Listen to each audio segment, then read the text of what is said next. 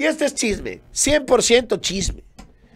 ¿Se acuerdan ustedes de esta señora?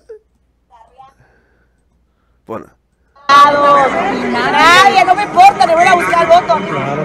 Pues si no te importa porque ya no vas a volver a ser diputado. Por eso soy pluri. Soy pluri.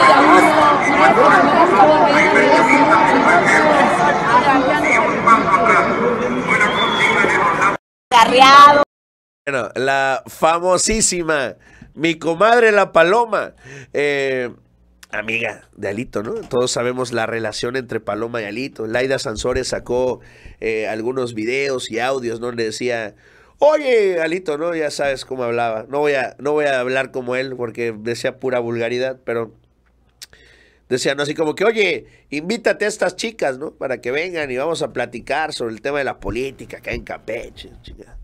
Y ya si te dicen que no, pues ya te traes a la paloma, ya para para no, pa no quedarnos con hambre. eh, Sabemos cómo llegaron ellos, no nos vamos a engañar. Ella llegó por la pluri y llegó con todo este tema de los famosos packs y esto. Que bueno, denunció a Nacho y denunció a Juncal y al defensor de la verdad. Bueno, enloqueció a la señora. Acabó su pluri, bueno, va a acabar. Y ahora va a ser senadora. Pero ya no pluri. Ella fue candidata al Senado por Sinaloa, si no me equivoco. Que no se sabía ni siquiera los municipios de Sinaloa. Wow, iba a ser la representante de Sinaloa. Imagínense así el nivel de los priistas. Pero ¿qué pasó? ¿Cuál es el chisme, Pablo? Ya.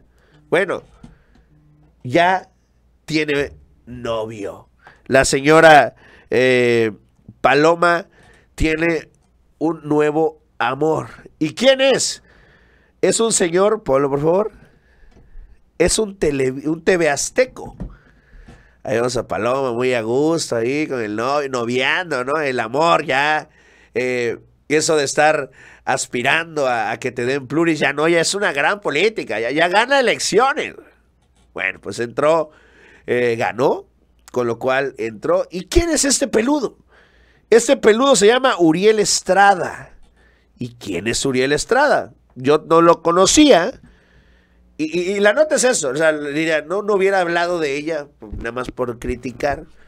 Pero me llamó la atención eso. Dije, ¿quién es Uriel Estrada? Primero dije, pobrecito Alito, ¿no? Qué poca madre.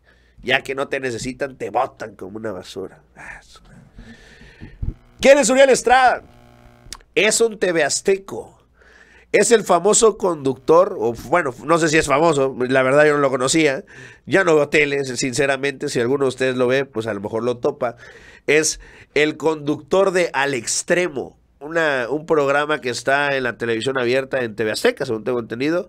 Bueno, pues es el nuevo amor de la Dipupac, Sara Paloma Sánchez. Con lo cual, pues pobrecito Alito, ¿no?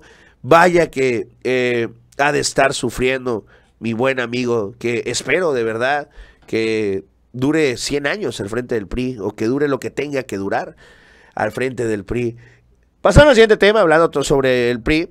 El día de hoy habla Dulce María Sauri y es que asegura pues que ella no se, eh, no es cierto, no es Dulce María Sauri, es Lorena Piñón, esta señora que se registró el día de ayer para competir por la dirigencia y que yo lo dije aquí el, ayer en el Ganso, es aliada de Alito, es comadre de Alito, es para que no parezca una elección del viejo PRI, ¿no? donde nada más había un candidato y todos votaban por el único. Eh, se registra ella, pero dice ella que no. Hoy se fue a sentar con Azucena y dice que no, ella no, este, que no es aliada de Alito, que incluso convoca a todos los que están en contra del dirigente del PRI para que voten por ella si quieren sacar al pillo de Alito. Se le reveló una de sus aliadas. Vamos a verlo. No, que está dos fuegos, que es víctima de la traición de sus compañeros, de algunos militantes priistas, pero también de la persecución desde Palacio Nacional.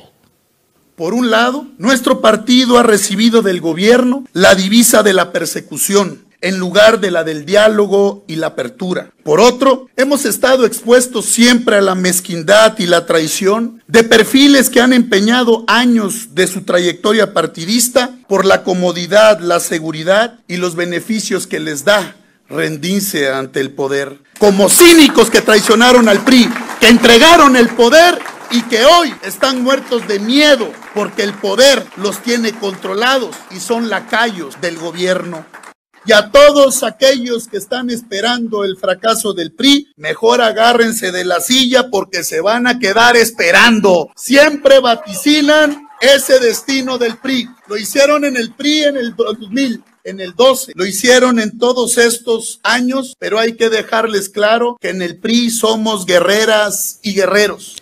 Bueno, ayer nos decía Dulce María Sauri que en caso de que solo penal, otro registro, otro aspirante. Gracias, Azucena. Eh, eh, gracias por el espacio. Eh, voy a hacer una aclaración. No Por- soy actual secretaria de Gestión Social, únicamente soy diputada federal. Ah, muy bien, muchas gracias. Diputada federal y del soy PRI. secretaria general del PRI en mi estado, en Veracruz, también con licencia. Muy bien, diputada, diputada con licencia para competir en este proceso. Claro. Muy claro, bien. claro. Oiga, diputada, eh, con, con todo respeto, ¿usted sabe competir para perder ante Alejandro Moreno?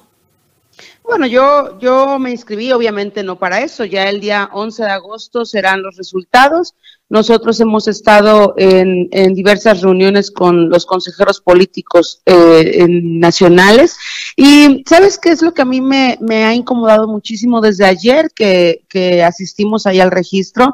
Es que han puesto en duda, en tela de juicio mi, mi candidatura. La verdad es de que a mí me entristece mucho porque, bueno, eh, odian y, y hablan tanto del partido, eh, diferentes personas que afectaron en su momento tanto la imagen del PRI. Y, y bueno, hablan mal de Alejandro y todo. Bueno, a todos esos que hablan mal de él, pues aquí les doy una, una buena opción, que me ayuden en la campaña y que, y que hagamos el cambio que ellos tanto exigen. O sea, usted le Pero el problema es que nada más atacan por atacar, no les da ni frío ni calor y, y, y- y nada les sienta Ajá. bien. Aquí el tema es eh, desestimar al PRI, el tema es afectar la imagen del partido más de lo que ya lo han afectado y eso es lo que a mí me incomoda muchísimo. Oiga, Lorena, ¿usted le invitaría a Dulce María, La Bastida, eh, Ochoa y estos eh, otros priistas que están molestos con este cambio en los estatutos a que se sumaran a su campaña para competir contra Claro, Alejandro Moreno? Por supuesto, pero te voy a decir una cosa, o sea, eh, eh, a mí lo que me, me extraña muchísimo es que ellos, eh, me hubiera encantado verlos en campaña. Nosotros estuvimos en una campaña en tierra, yo eh, allá personalmente en Veracruz.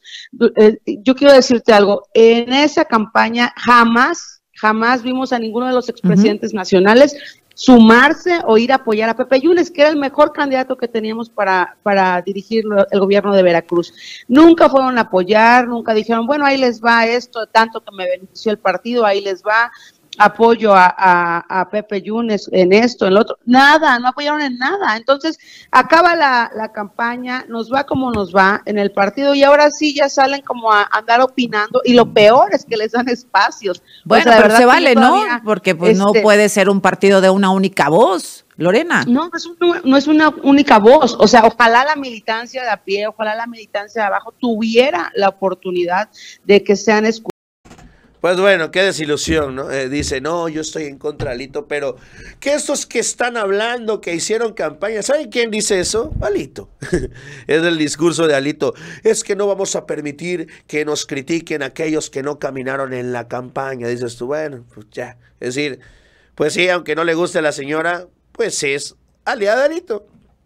Y se registró única y exclusivamente para hacerle el caldo gordo. Y la realidad es que pues, ya están sentenciados, ¿no? No, no, hay, no hay nada que hacer. eh, tendrán que afrontar su derrota, tendrán que afrontar su eventual extinción. Y pues yo creo que por ahí algún cuadro destacado, rescatable, pues integrarán nuevos partidos políticos y pues a ver, a ver cómo les va en un futuro. No creo que es necesaria la oposición para la política, y pero oposición real, buena, no este pedazo de pus que, que, que pues que brota de parte de la corrupción de los partidos, pues que ya tuvieron su oportunidad y fracasaron estrepitosamente.